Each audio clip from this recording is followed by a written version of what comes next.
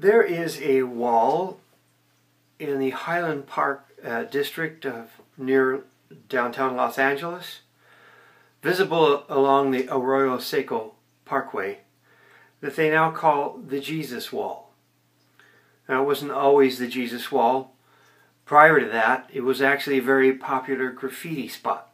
And if you know anything about graffiti, uh, it kind of grows over time as as one gang tags its name and then the ex, next gang has to tag their name over the other one and then another one or the former one has to tag their their name over that one. And so it goes on and on and on until the space is just completely loaded with uh, with names.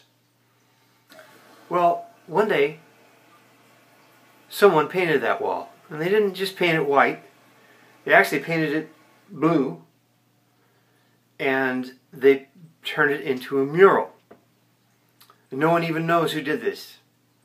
But it was a mural with uh, two hands like this, releasing a white dove, and the words across very large letters, Jesus set me free. And the amazing thing was, after that, for literally years, no one tagged that wall anymore. Now it broke down mainly because the paint faded, stucco was cracking, and some of the graffiti started to work its way back. And so someone came and redid the wall one more time.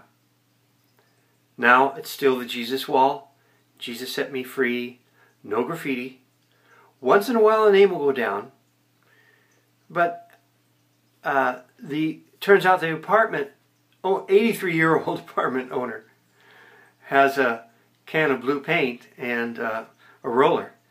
And if something shows up there, he just goes and paints a little blue sky over it. It's an amazing thing, simple thing, but a testimony right there to at least the power of even the gospel message even a simple statement of the gospel message Jesus set me free. And if perhaps some people don't believe it, they're not going to touch it because maybe they actually want to believe it. It's true.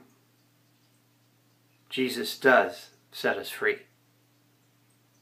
This is John Fischer for the Gospel of Welcome for everyone everywhere.